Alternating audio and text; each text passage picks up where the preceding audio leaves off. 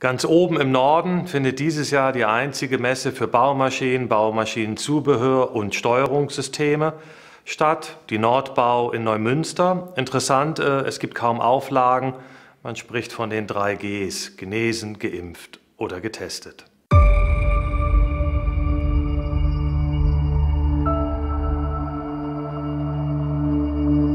Spannend ist auch immer wieder zu erleben, wie unsere Systeme für Erdbau und Asphalt Maschinen entstehen. In der Corona-Zeit war das natürlich sehr schwierig, weil auch wir aufpassen mussten, dass wir keine Infektionen in die Fabrik bekamen, sodass das eigentlich kaum jemand gesehen hat. Und es fällt uns auch sehr schwer, diese Produktion mit nach Neumünster zu nehmen. Aus diesem Grund äh, machen wir heute dieses kleine Video hier bei uns am Hauptstandort in Limburg an der Lahn.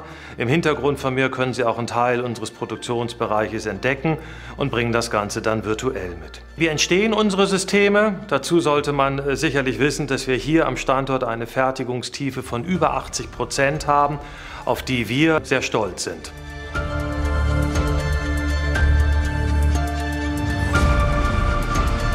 Grundsätzlich ist das immer der gleiche Ablauf. Wir haben eine Grundplatte, auf die elektronische Komponenten bestückt werden. Die Anlage nennen wir SMD.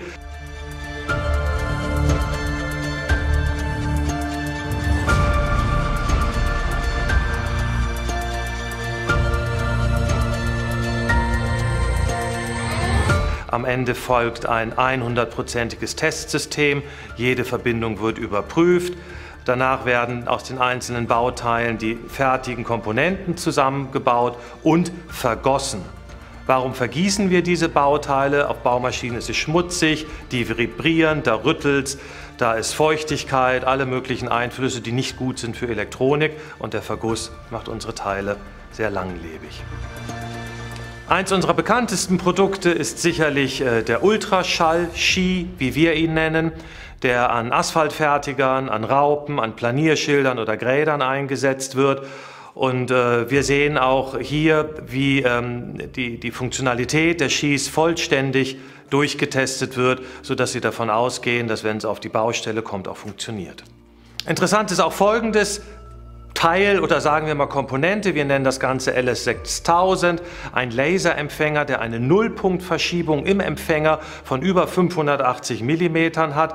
Damit müssen Sie, wenn Sie jetzt im Erdbau etwas abtragen oder einbringen, äh, nicht großartig raus und am Mast etwas verstellen. Gibt es auch in einer kleineren Variante mit 290 mm. Auch unsere Asphaltsysteme für Fertiger, Walze oder Fräse werden hier in der Produktionsanlage hergestellt, die wir Ihnen dann zum Teil wie zum Beispiel Temperaturmessung und Vergleichbares auf der Messe zeigen werden. Wir freuen uns wirklich sehr darauf, Sie endlich wieder persönlich zu treffen und auf unseren Messestand in Neumünster zu begrüßen.